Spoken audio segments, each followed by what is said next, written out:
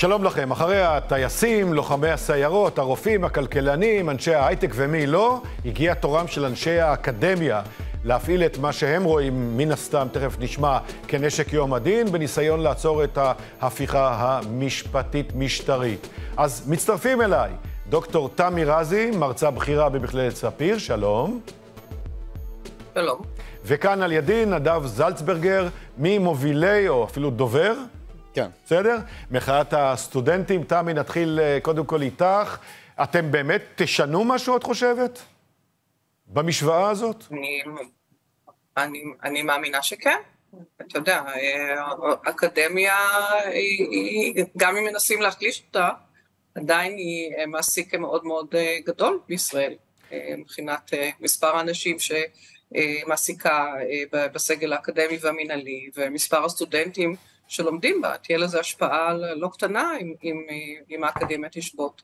על חייהם של לא מעט אה, אנשים. אז יגידו התומכים, אה, כלומר, אלה שקוראים לזה רפורמה משפטית ולא הפיכה משפ... אה, משטרית, יגידו, מה אכפת לך? מה זה משנה לך?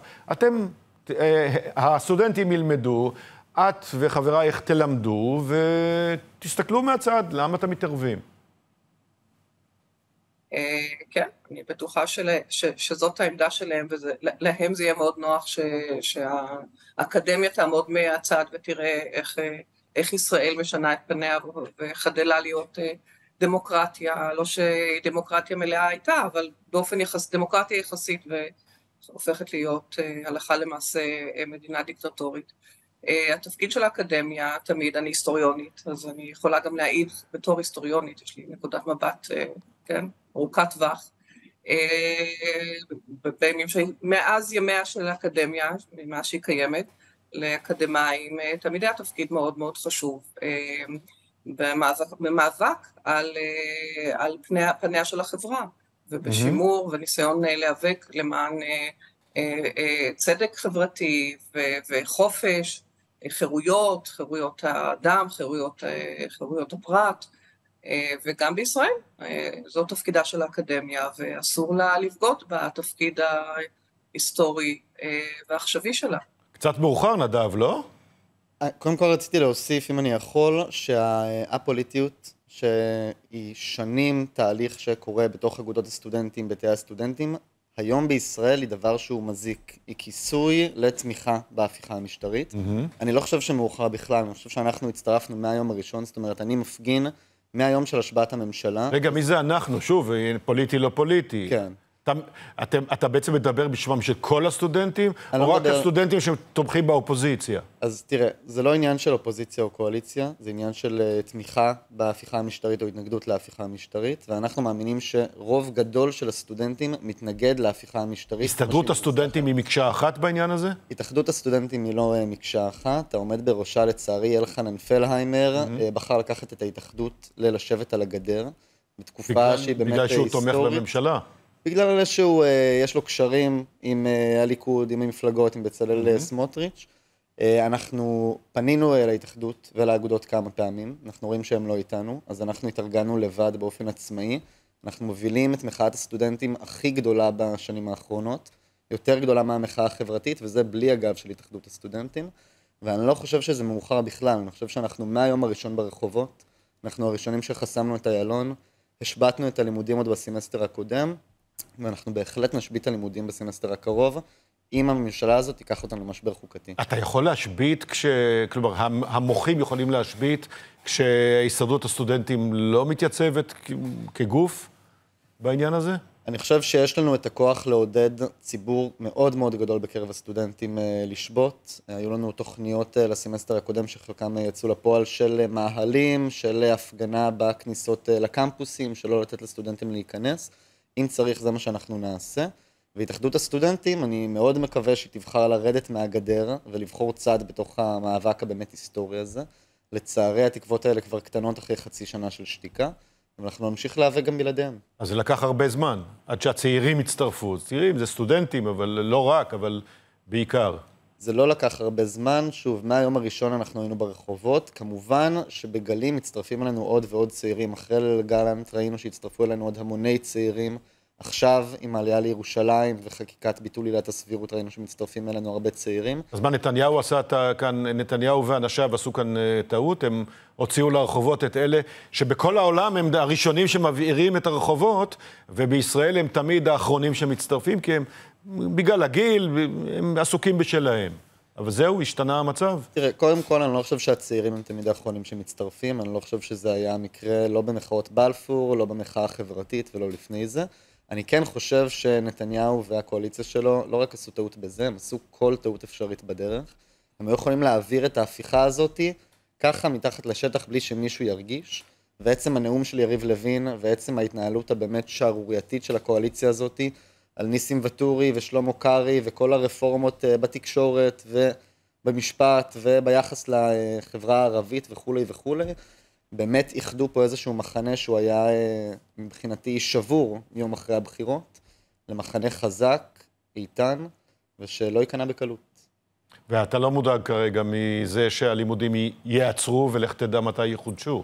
תראה, ברור שאני מודאג, ואני חושב שסטודנטים משלמים אה, מחירים לא קלים בתוך המחאה הזאת. יש לנו סטודנטים שנכשלו במבחנים, יש לנו סטודנטים שלא עוברים את הסמסטר, יש לנו סטודנטים שעצרו את החיים שלהם לגמרי, את העבודה, את הלימודים, את הקשרים במשפחה, ונמצאים רק ברחובות. אני אציע לך תשובה, שזאת כן. תהיה הבעיה האחרונה שלנו. כן. תשובה לשאלה שלי. כן, אז ברור שיש תשלומי מחיר וברור שזה מפחיד, אבל אני חושב שיותר מפחיד לחיות בדיקטטורה ויותר מפחיד לראות את העתיד שלנו, שבסוף אנחנו הצעירים נצטרך לחיות אותו הכי הרבה שנים, לראות את העתיד הזה יורד... עצלנים ואדישים שכמוכם, אתם, הם באמת נפלו על הדור הלא נכון, או ש... לגמרי. שוב, אני לא מתחבר ללא לעצלנים ולא לאדישים. או שחיברו אתכם לכמה תכונות שנדרשות מצעירים, ולא תמיד, למרות מה שאמרת על בלפור ועל זה, לא, לא תמיד באו לידי ביטוי. תראה, אני... גם שם המבוגרים... הם אלה שנתנו את הטון ברוב הזמן. תראה, אני חושב שבפועל חוד החנית של המחאה הנוכחית זה הצעירים. הם האנשים שיורדים לאיילון, הם האנשים שעוזקים כן, את עצמם ברכבת הקלה, אלה האנשים שיוצאים בהמוניהם. יש את ה... הם מתרבים אגב? כן, הם מתרבים והם אה, מצטרפים עוד ועוד, אנחנו רואים את זה גם בפיקים, כמו שאמרתי, אחרי גלנט, אחרי הסבירות. אני לא חושב שהדור שלנו עצלן, אני לא חושב שהדור שלנו אגואיסטי, אני חושב שהדור שלנו חונך, אגב, על ידי קודמנו, במשך שנים להיות א-פוליטיים, לא להתערב, אה, לא, שלא יעניינו אותנו סוגיות כאלה ואחרות, והיום אנחנו מבינים שזה מתפוצץ לנו בפנים, ושאנחנו חייבים להיות מעורבים וחייבים להיות פוליטיים, אחרת העתיד שלנו פשוט יילקח מאיתנו. דוקטור רזי, העובדה שהלימודים אה, יופסקו היא... נשאל אחרת, זה אסון גדול או שלא נורא? אה, אני חושבת שזה, בוודאי שזה אסון.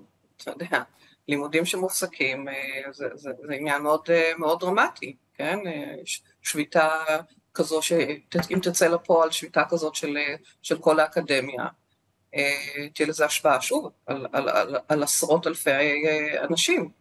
זה עניין, נוטים לזלזל באקדמיה, זה הולך טוב עם, ה, עם ריח הפשיזם, אבל אקדמיה, בטח בישראל, שיש בה מעל 60 מוסדות לימוד, היא מאוד, היא מאוד מרכזית בחיים, בחיים במדינת ישראל. אה, אני רק רוצה להזכיר, לא, לא, זה לא נאמר עד כה, אה, אה, נדב כסטודנט ואני כמרצה, אנחנו חברים בגוף מאוד מאוד פעיל מראשית המחאה של מטה המאבק של האקדמיה, אז חשוב גם, גם לציין את זה, כל היוזמות הללו הן יוזמות שיוצאות מתוך, ה, מתוך המטה. וכשהסטודנטים יצאו, יצאו כנראה אה, לרחובות, למקומות, ישביתו ו- ויחריפו את הפעילות. המרצים, אתם, אני, את כמייצגת של המרצים והדרג הניהולי יותר, אה, אתם ת, תיתנו לזה גב? אתם תעשו איתם יד אחת? תראה, אני אתן לך תשובה כנה. ככל שזה תלוי בי, אני אתן, אני אתן גב מלא. לכל הסטודנטים ש, שלי וסטודנטים במוסדות אחרים שרוצים לשבות, ואני אהיה איתם שם ברחובות, ואני אעשה את כל מה שנדרש, כפי שאני עושה מאז שהחלה המחאה. אה, האם להגיד לך ש, ש, שאני מייצגת פה את העמדה של כל המוסדות? אה, לצערי לא. לצערי לא, אנחנו עובדים על זה, כן? אנחנו מנסים אה, בתוך המוסדות, כל אחד במוסד שהוא או היא שייכים אליו, מנסים, אנחנו מנסים להוביל למין החלטה כזאת שתתקבל, אנחנו גם מנסים לגרום לגופים, כן, לוועד ראשי המכללות ולוועד ראשי האוניברסיטאות לצאת בהצהרה כזאת. כלומר, זה לא, לא, בטוח שזה, לא בטוח שזה יהיה, שזה יכלול את כולם? אני שואל גם את נדב, אבל... השאיפה שלנו היא שזאת תהיה שביתה כללית, אתה יודע, אבל זה כן. מכיוון, ש... מכיוון יכלול... שמדובר בגופים מאוד אה, נרחבים, כן? מעל מה 60... אתה חושב? מה אתה חושב? מעל 60 זה... מוסדות האוניברסיטאות. אוניברסיטאות המחקר והמכללות, לא פשוט להוציא את זה לפועל, לא. אבל כמובן שזאת השאיפה. אני אגיד, אה, גם אה, כל ראשי האוניברסיטאות כבר אה, הכריזו על סכסוך עבודה, זאת אומרת, האוניברסיטאות כבר אמרו, אם אנחנו נגיע למשבר חוקתי, אנחנו נשבות. גם המכללות... בלי הגבלת זמן? אני לא יודע לגבי הגבלת זמן, אני מאמין שתהיה איזושהי הגבלת זמן בסוף, הם לא ישבתו לנצח, אבל ככל לא, שאנחנו נגיע... לא, אבל עד שדברים לא ישתנו, זאת השאלה. אני חושב שזה מאוד מאוד תלוי במה יהיה אה, מסביב. יש הבדל בין שביתת מחאה ליומיים או לשבוע, כי התהליך אה, כנראה לא ייעצר בעקבות השביתה הזאת, או שביתה עד שתעצרו. אני מאמין שזאת תהיה שביתה אה, ממושכת. אני מאמין שאנחנו נראה גם מכללות שיצטרפו לשביתה הזאת. אני גם אגיד שהמרצים עד כה הם נותנים לנו גב, אמנם בהתחלה היינו הסטודנטים לבד ולמרצים לקח זמן להצטרף, אבל המרצים נותנים לנו גב מלא במחאה הזאת. כן. אנחנו רואים יותר ויותר מוסדות ויותר ויותר אה, יו"רים אה, מתבטאים נגד ההפיכה המשטרית. אני חושב שזה רק ילך ויחריף ככל שהממשלה הולכת ומחריפה את הצעדים שלה. תודה רבה לך, נדב זלצברגר, ותודה רבה לדוקטור רזי. ולפני שנסיים, אה, נזכיר לכם את דמוקרסי, האפליקציה החדשה של דמוקרט TV. כל השידורים שלנו מההפגנות ומהאולפן הזה, הישר לטלפון שלכם. אתם מוזמנים להיכנס ללינק שמופיע בתגובות, להוריד את האפליקציה. תודה לכם, השותפים והשותפות של דמוקרט TV. הערוץ הזה קיים הרי רק בזכותכם ובזכותכן להתראות.